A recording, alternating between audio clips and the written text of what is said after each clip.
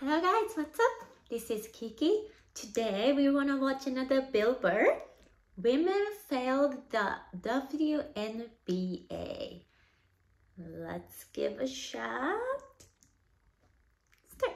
I saw a woman a couple months back, professional soccer player, right? She goes on to ESPN or one of these sports channels, and she starts bitching, going like, I don't understand. How come female athletes don't make as much as male professional athletes?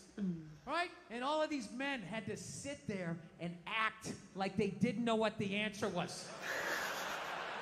They had to sit there like dumbfounded, like, oh, uh, I don't know. Uh, why is that? Uh, that is a conundrum. I have, I have no idea. Literally, I'm sitting at home screaming at the TV because you don't sell any fucking tickets. Nobody is going to women's soccer games. You're playing in a 20,000 seat arena. 1,500 people show up. That's not a good night. The promoter lost his fucking ass on that gig. I'm not saying no professional female athletes, Serena Williams, the women in the UFC, you know, but nobody's watching your fucking sport. And then you're gonna come and you're gonna get mad at fucking men. They keep doing that shit. Why are you yelling at us? It's not our fucking job. It's not my fucking job to give a fuck about women's soccer, okay? I have men's sport to pay attention to. This is, it's your bullshit, right? Dude, look at the WNBA. Dude, nobody in the WNBA got COVID. Nobody. They have been playing in front of three to 400 people a night for a quarter of a century. Not to mention, it's a male subsidized league. We gave you a fucking league. None of you showed up. Where are all the feminists? That place should be packed with feminists. Faces painted, wearing jerseys, flashing their titties. Going fucking nuts like the guys do in the upper deck with their big beer. Ah, Am I on the Jumbotron? Am I doing it?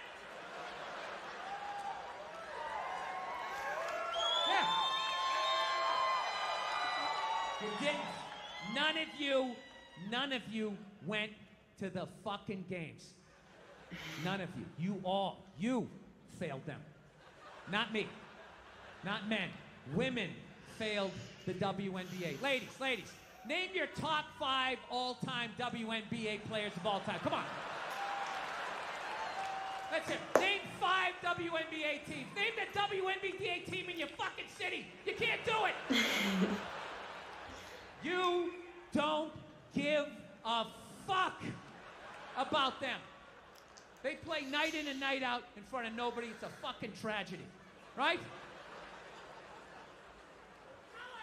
And then meanwhile, you look at the Kardashians, they're making billions.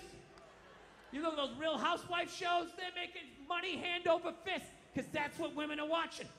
And the money listens. You don't want to watch this shit? You watch this shit? They just shoot it over there, drowning these whores in money, in purses, and shoes, and Botox. It's just raining. It's raining money. Yeah. So, the money listens. You'd rather watch that shit. Real housewives, bunch of women just tearing each other down. Well, maybe that's why your husband left you. Maybe that's why your husband left. That's why you can't have kids, bitch. That's why your ass is as flat as your titties, bitch, right? That's the message you sent. We would rather watch that than see a bunch of women come together as a, as a team and try to achieve a common goal. We would rather watch them absolutely fucking destroy each other. Yeah. No, no, no. And then in the end, you come back and you fucking yell at guys. Like, and it's like, all right, so let me get this straight. I have to buy you a drink, stop the axe murderer from coming through the fucking window, and I have to watch WNBA games for you? Like, when are you gonna pick up your end of the couch?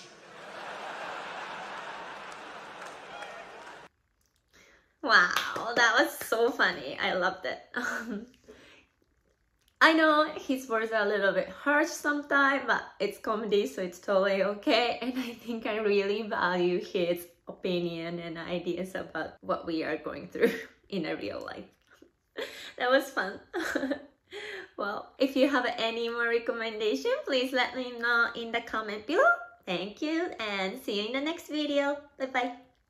Thank you for watching my video. If you like this video, please click the like button below and subscribe to my channel. Bye bye.